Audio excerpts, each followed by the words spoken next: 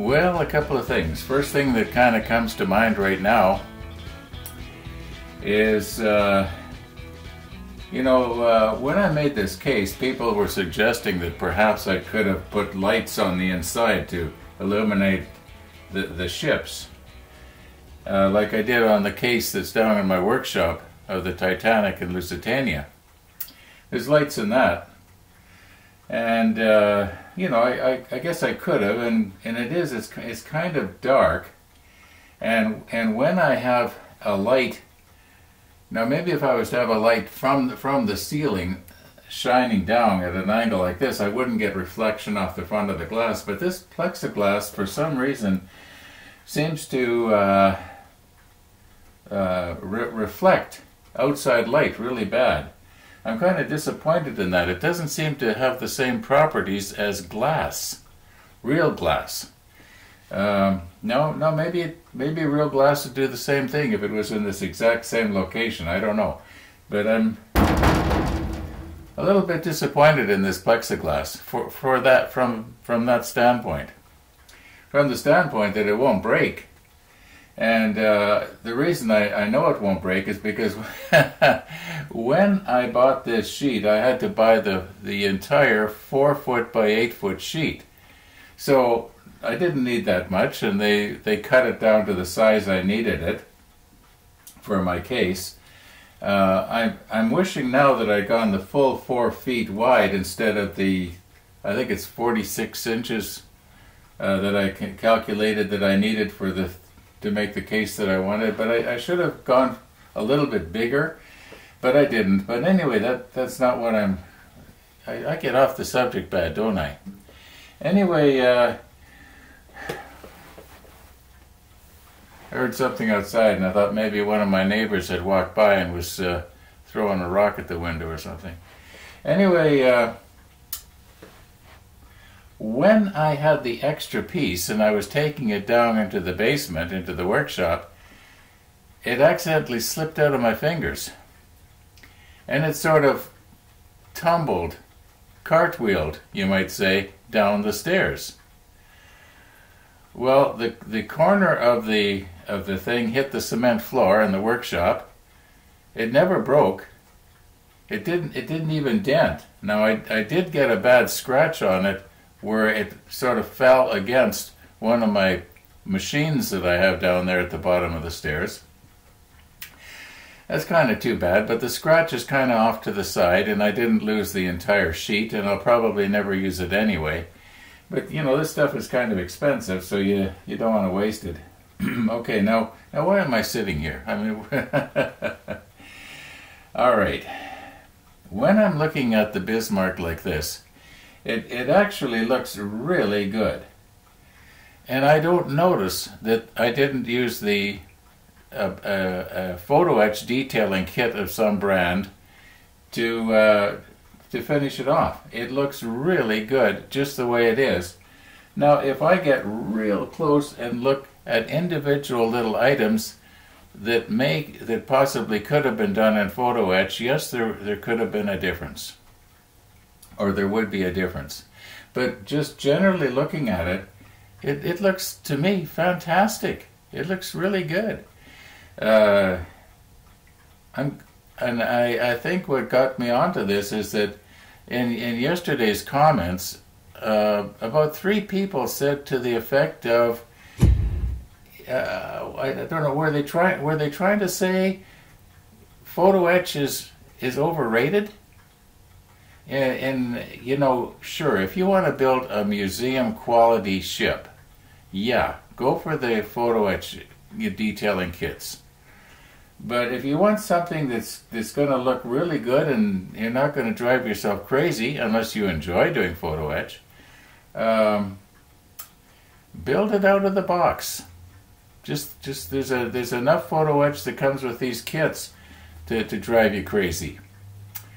Um, yeah, that's that's my opinion. Now I should have taken out a minute maybe to have set up my spotlight so that the, the Bismarck shows up a little better here. You're just getting a black silhouette of it. Uh, okay, so so that's about the uh, all I have to say here. I think, at least for right now, about whether or not you should do something in photo etch. Oh, thought of something.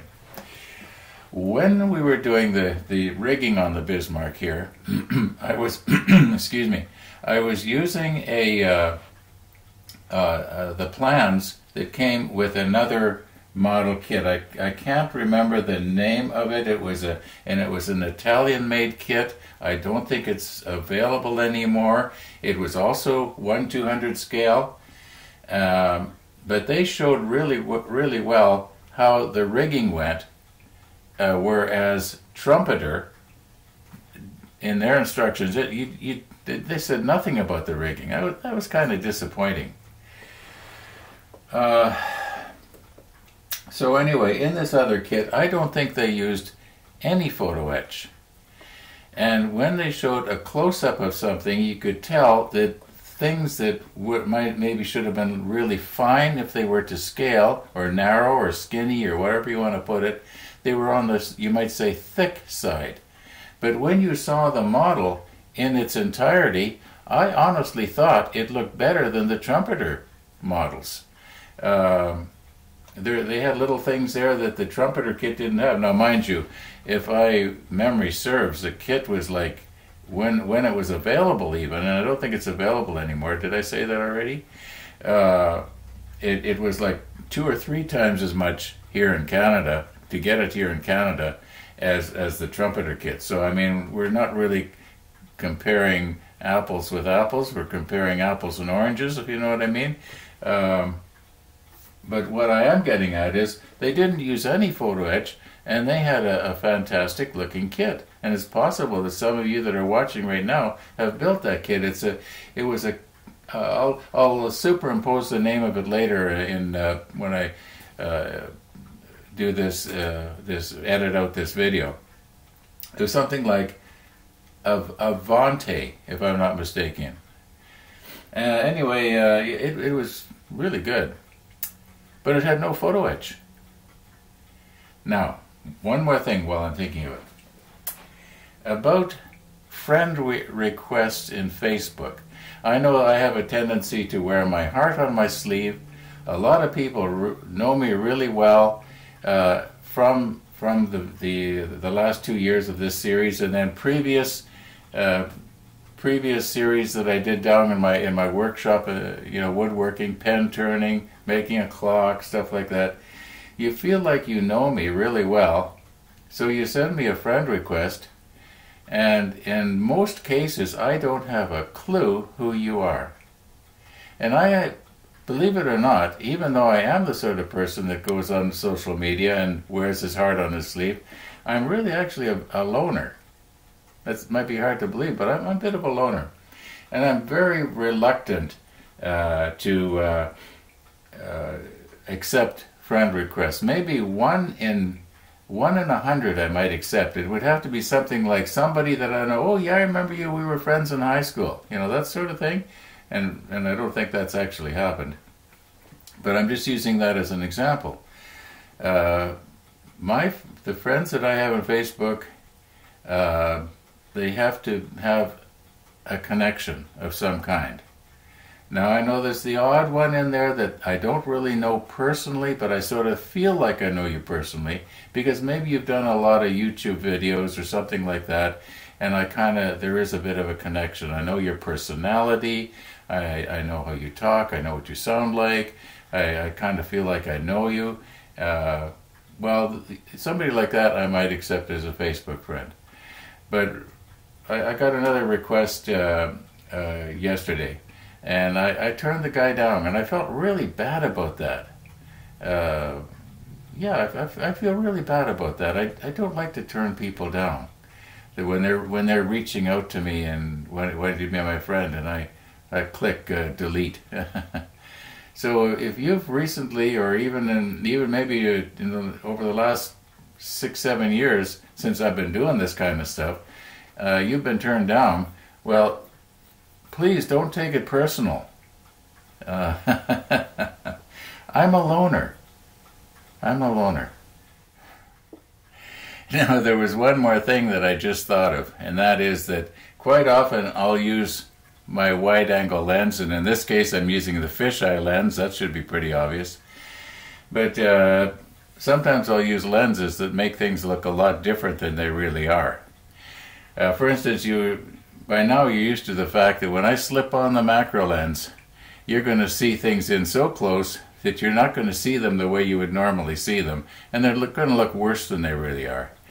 Uh, sometimes I'll use the wide angle lens, and it'll make stuff look a whole lot bigger than it really is. For instance, you're right there, and yet if, if I hadn't have done that, you wouldn't realize that you're so close to me. It's just deceiving. Um, like my my big backyard yesterday that somebody commented on. It's not that big. I was using my wide, my wide, normal wide angle lens set to its widest angle. so we were taking in about a 110 degree angle there. Uh, just a, just another thing. I just want to. I, I, don't like to deceive. I, I like to keep it uh, keep it real. Tell it like it is. And if it doesn't look like it is, I like to explain, like I did just now.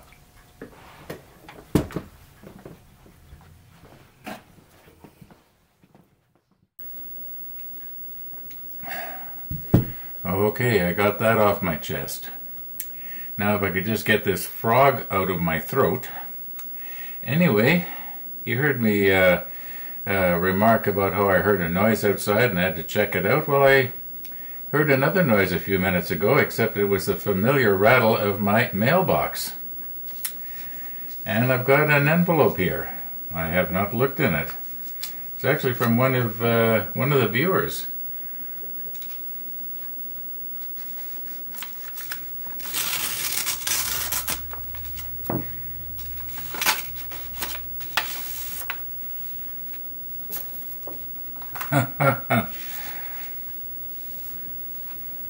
I'm begging you. I'm scared to open it, Jim. Hope you are feeling better. okay, thank you, Jim, for that card. Well, I guess what that was all about is I was mentioning the other day how I had a stiff neck or something, and well, I am better. At least I think I am.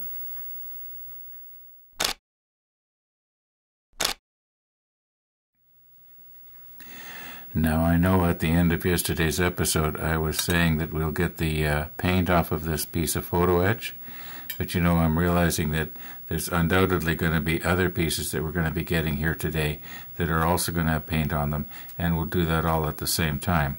So let's see if we can find. Uh, all right, we got this one. We now need A44.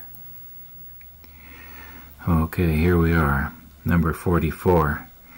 Another very, very spindly little part.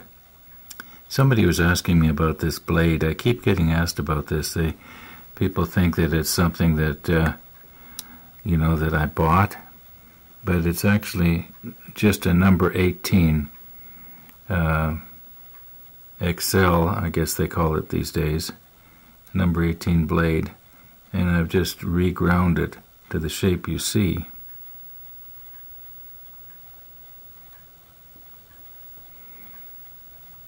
I do believe I went through. Don't want to push too hard, I'm starting to bend that.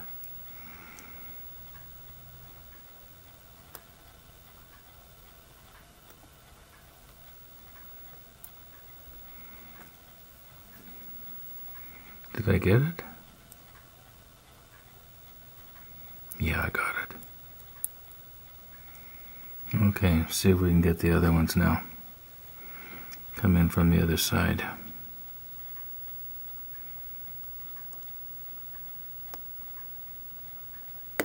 That one went better.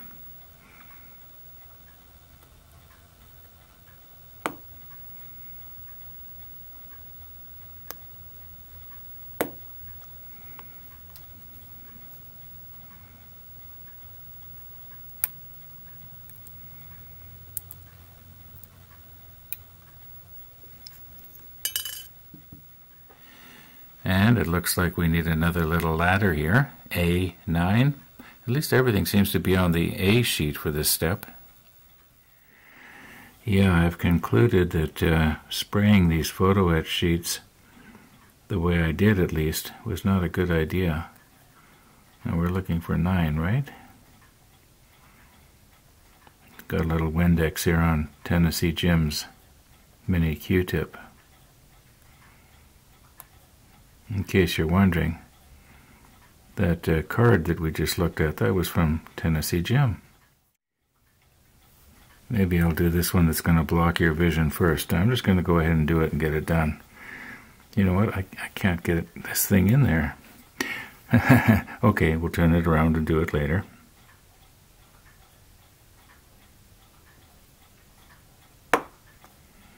I like it when they pop like that.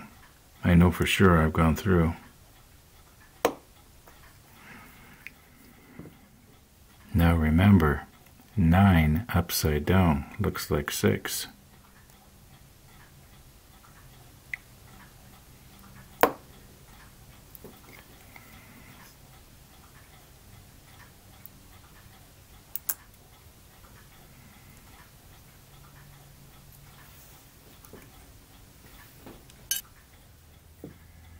Now we're going to look for four A15s.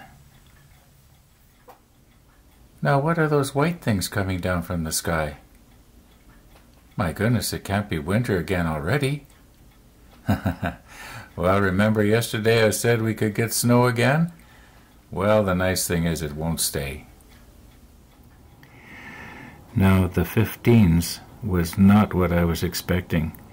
I thought it was going to be a solid, something solid. This is going to be hard to glue on, I can tell already, and I haven't even tried.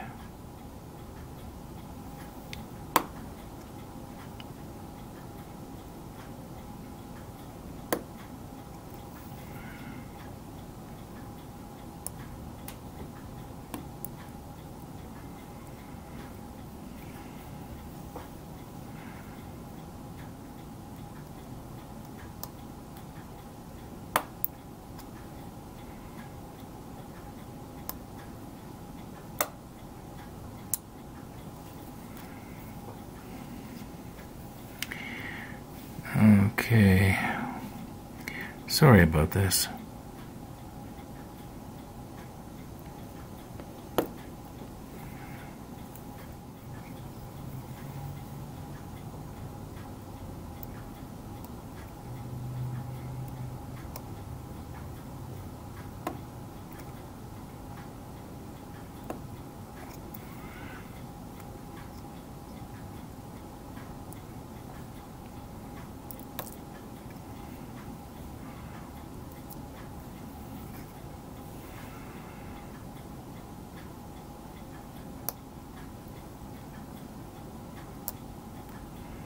Trying to get as close to the part as I can because it's it's too delicate a piece to be able to sand off the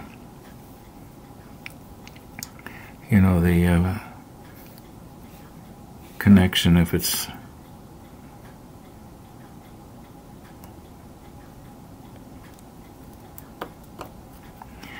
okay if I got them all now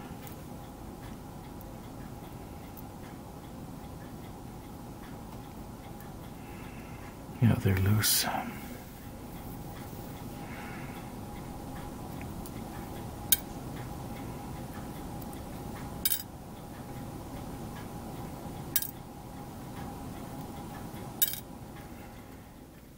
A3 with its very delicate little spindly braces that have to be somehow fastened on. Well, I think we've done stuff like this before. Okay, here we go, number three. It's a fairly large piece here, almost don't need the macro lens. And I'm noticing that these two little braces here, they're just stuck down on the on the sticky plastic. There's no tabs. Okay, well, here we go.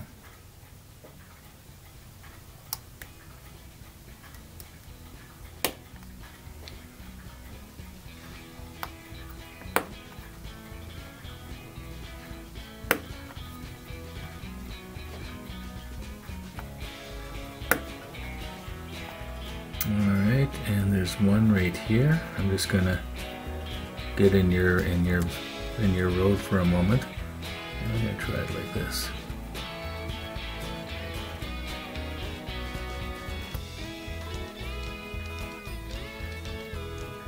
There's another one right here.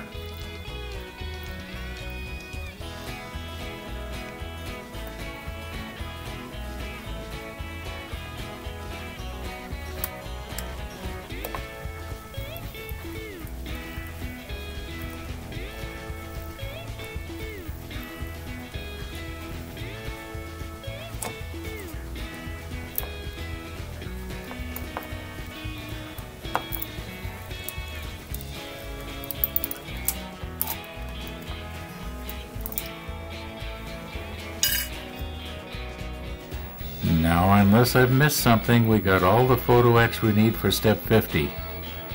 And I do believe, in fact I know, we're gonna have to cut this video off for today. So thanks for watching, and all being well, we'll see you tomorrow. And maybe tomorrow we'll get this paint off of those pieces. In fact, I'm pretty sure we will.